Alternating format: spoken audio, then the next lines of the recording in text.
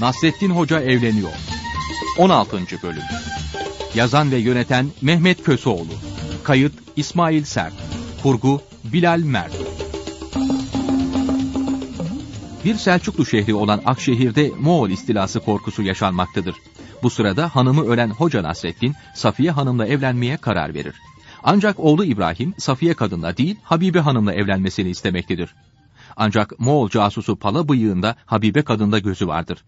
Derken hoca Safiye Hanım'la nikahlanıp evine gider. O zamanın adetine göre gelinle damada gerdeğe girmeden önce sarı aş tatlısı ikram edilecektir.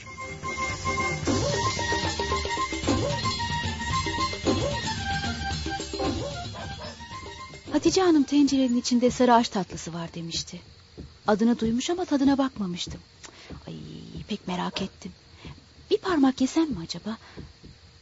Ama yiyeyim canım. Hocayla karısı nereden farkına varacak ki? Hmm. Ay rengi de hakikaten sapsarıymış. Tadı nasıl acaba? Amanın ne lezzetli şeymiş bu. Dur bir parmak daha alayım. Oh. Ay bayıldım bayıldım. Ay kim ne derse desin bir parmak daha alacağım. Ay uykum geldi hoca efendi. İstiyorsan sen gerdek tatlısını bekleyebilirsin.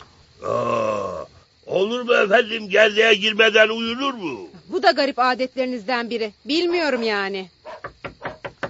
Hah, tatlıyı getirdiler işte. Kusura bakma hoca efendi geciktim biraz. Sarı ağaç tatlısını getirdin değil mi? Ee, şey evet. Ee, gir, gir içeri de bahşişini vereyim sana. Hı hı. Halil Ağa'nın hanımı güzel yemekler, tatlılar yapar. Aç bakayım şu tencerenin kapağını da tatlıyı bir görelim. Bu da ne? Huriye kadın, bu tencerenin içi niye boş? Ah hocam bağışla. Doğrusu getirirken tencerenin içi ağzına kadar doluydu. Ee, Burnuma öyle güzel koktu ki önce kokusuna sonra da tadına dayanamadım. Bir parmak bir parmak daha derken bitirivermişim. Meğer o kadar dolu tencere nah şu kadar çıkmış. Hemencecik bitiverdi. Bağışla hocam affına sığınırım bağışla. üzülme üzülme. Madem canın çekmiş, helali hoş olsun. Al şu akçayı da bahşiş niyetine. Sağ ol hoca efendi Allah senden razı olsun. Ama bir durum daha var. Onu ne yapacağız? Ee, ne durumu hocam? Ya biliyorsun sarı aş yiyen gerdeğe girer. Aman hocam. O zaman yarından tezi yok sana bir koca bulalım da adet yerini bulsun. Aman hocam bu yaştan sonra mı? Vallahi bilmem ki.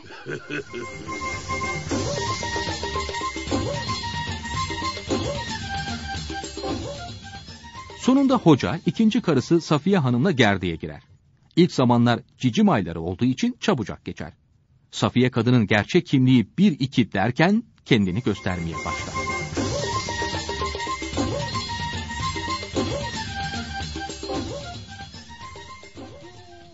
Bire üh bire çekilmez oldu şey.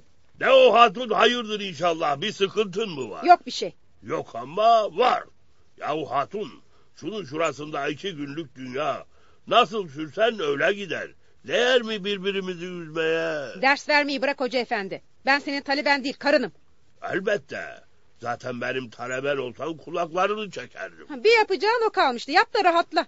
Tövbe de hatun tövbe de. O nasıl söz öyle? Ne yapmışız ki sana böyle sitem edersin? Ne yapacaktın ki daha? Gezme yok, eğlenme yok. Böyle hayat mı olurmuş?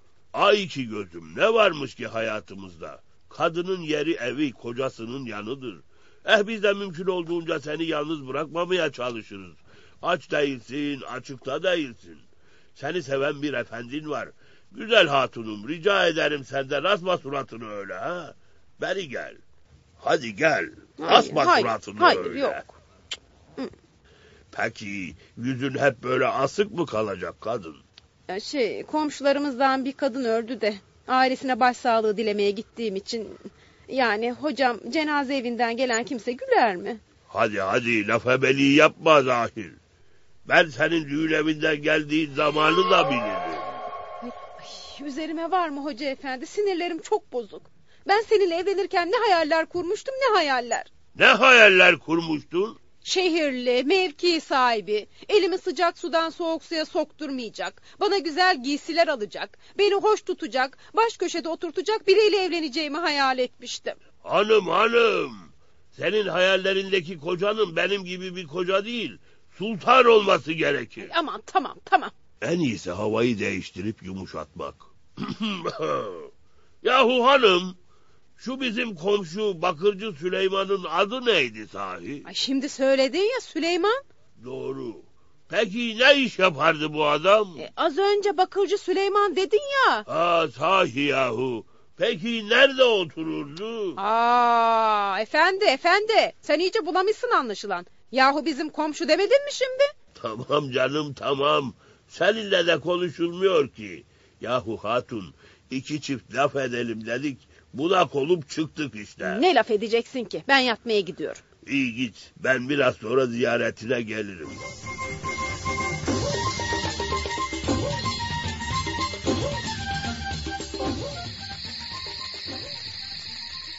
Allah rahatlık versin hatun. Ah ah. Benim rahmetli kocam sağ olaydı. Yatmadan önce yanağımdan öperdi. Tövbe tövbe. Rahmetli kocam bambaşka bir adamdı. Ellerim bozulmasın diye çamaşırı bulaşığı yıkatmak için gündelikçi tutardı. La havle ve la kuvvete illa billah. Rahmetli kocam vefalı adamdı. Kadrimi kıymetimi bilirdi. Ah, Hanım ah. hanım. Beni iyi dinle. Benim rahmetli hanım da bana cilveler ederdi. Bir dediğimi iki etmezdi. Ah rahmetli kocacığım. Şimdi çıra yakıp arıyorum seni ama boşuna. Ah rahmetli karıcığım. Güzeller güzeli karıcığım. Böyle yattığım zaman üşümeyeyim diye üzerimi örterdi beni. Ah rahmetli kocacığım.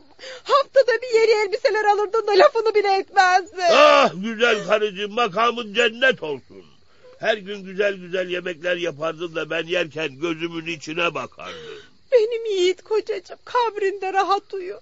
Her akşam koluna takıp gezdirmeye götürürdün de yine de özür dilerdin benden. Ah rahmetli karıcığım. E yeter yahu yeter.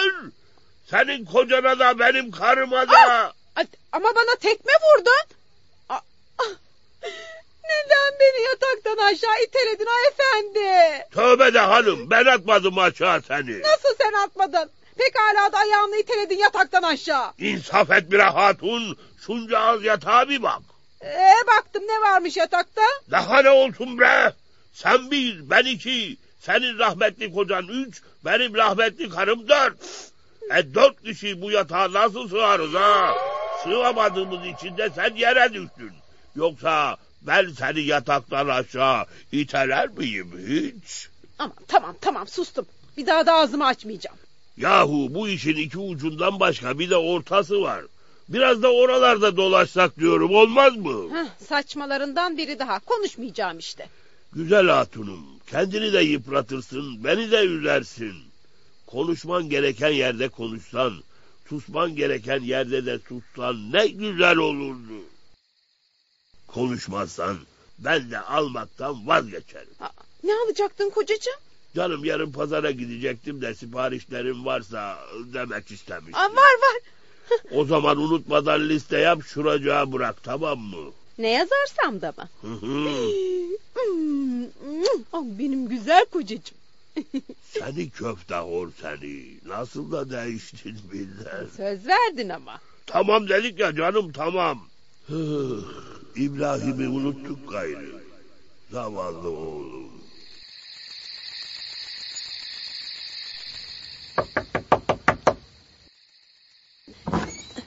Merhaba Habibe Ana girebilir miyim? Ah, İbrahim senin ne işin var burada? Hiç. Canım sıkıldı. Seni göreyim dedim. İyi yaptın gel gel otur şöyle gel. Ninenin durumu nasıl? İyi değil İbrahim. Hekimler ellerinden geleni yapıyorlar ama durumu günden güne kötüye gidiyor. Ama neyse dertlerimle seni üzmeyeyim. Babanın evlendiğini duydum. Allahu Teala Mesut ve Bahtiyar etsin. Evet o kadınla evlendi işte. Aa, çok ayıp ama.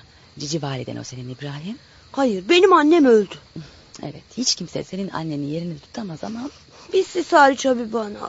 Ama siz de... Aa, lütfen. Lütfen bu konuyu bir daha açma. Baban artık evlendi. İnşallah Mesut ve Bahtiyar olur. Sana gelince ne zaman istersen beni görebilirsin. Şimdi doğruca evine git. Hadi tatlım. Ben evde kalmıyorum ki. Evde kalmıyor musun? Nerede kalıyorsun peki? Medresede. Ama neden? Şey derslerim biraz ağırca da. Ay bunlar mazeret olamaz oğlum evinde kalmalısın. Cici validem sevmiyor beni. Hacı babamı çok üzüyor. Kanaatkar biri değil o. Halbuki dinimiz kanaatkar olanı methediyor. Aza sabretmiyor, çoğa doymuyor. Hacı babamın da huzuru kaçık. Çocuklara ders mi versin, kadılık mı yapsın yoksa cici validemle mi uğraşsın şaşkın. Ya eğer dediğin gibi cici validen iyi biri değilse... Evet değil. O zaman siz iyi olun. Güzel ahlak sıkıntılara sabretmektir oğlum. Sen güzel ahlaklı olmak istemez misin? İsterim elbet. Kimseye yük olmamak ama başkasının yükünü, sıkıntısını çekmek bu güzel ahlakın zirvesidir yavrum. Eğil kulağına bir şey diyeceğim. Buyur abi bana. Ne olursa olsun aile içi sırlarına bir başkasına verme. En büyük gıybet, en büyük günah olur bu. Tamam mı tatlım? Tövbe abi bana. Tövbe ettim pişman oldum. Olmadı ama. Biz kardeş kardeş dertleşiyorduk şuracıkta. Yapma. Siz, siz neden bu kadar iyi biri oldunuz da cici validem neden bu kadar? Tamam tamam konuşma artık tamam. Peki. Tamam. Allah'a ısmarladık. Bu gece eve gideceğim.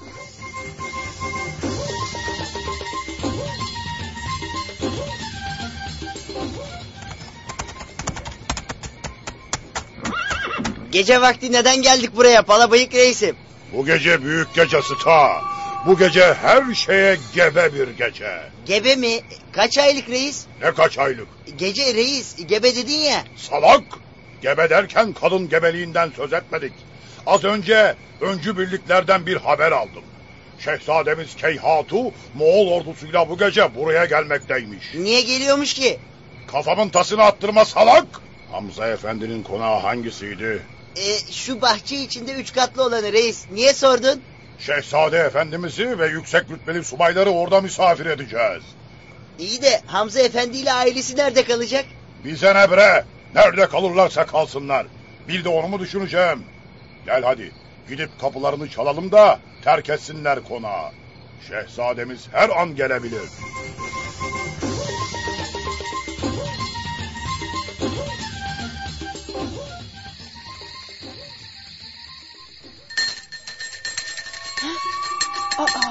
Gecenin bu saatinde kim çalıyor kapıyı böyle? Ay efendi efendi uyan. Ne var ne oluyor hanım? Ay duymuyor musun? Biri kapıyı çalıyor. Kalk bak bakalım kimmiş? Gecenin bu ilerlemiş saatinde kimin benimle ne işi olabilir? Dur geliyorum. Felaket hocam, felaket. Felaket olan nedir Halil ağa? Biraz önce Moğollar şehri istila ettiler hocam. Amanın Moğollar mı geldi yani? Korkma hanım. Ne zamandır gelmelerini bekliyorduk zaten. Bu Selçuklu'nun sonu demek. Ay, ne olacak şimdi? Ya malımıza, ırzımıza, namusumuza göz dikerlerse, ilişirlerse? İnşallah bu dediğinin hiçbiri olmaz hatun. Nasrettin Hoca adlı oyunumuzun 16. bölümünü dinlediniz. 17. bölümde buluşmak üzere, hoşçakalınız.